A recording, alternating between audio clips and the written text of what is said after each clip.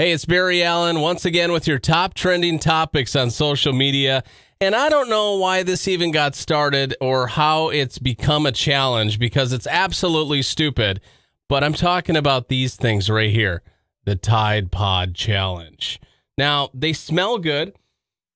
I mean, they really do. And they look like they would be delicious. But any teenager that takes this challenge knows that it's going to be absolutely nasty and disgusting.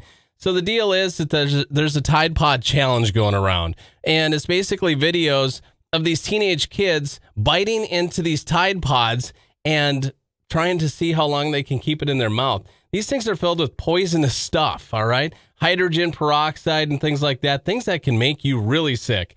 And experts say it's being dubbed the Tide Pod Challenge, and they're really looking into it now. The U.S. Consumer Safety Products Commission, they issued a warning to parents a few years ago about these things. And they said that the capsules, which are colorful, swishy, and smell good, they're attractive to young children, but contain highly concentrated toxic detergent that can cause harm.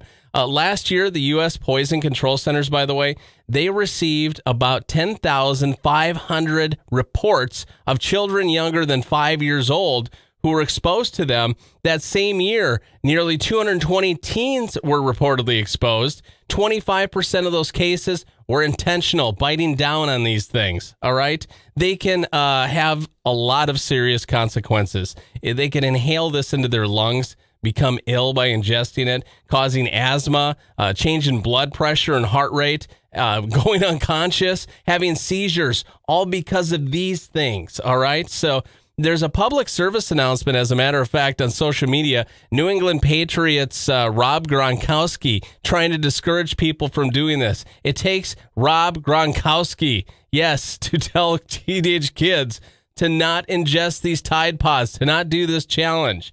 All right. So if you have a child that has decided they're going to try to do this, you need to call the Poison Control Center hotline immediately. And that number 800 222 1222 or if you want to text, you can text poison to 797979.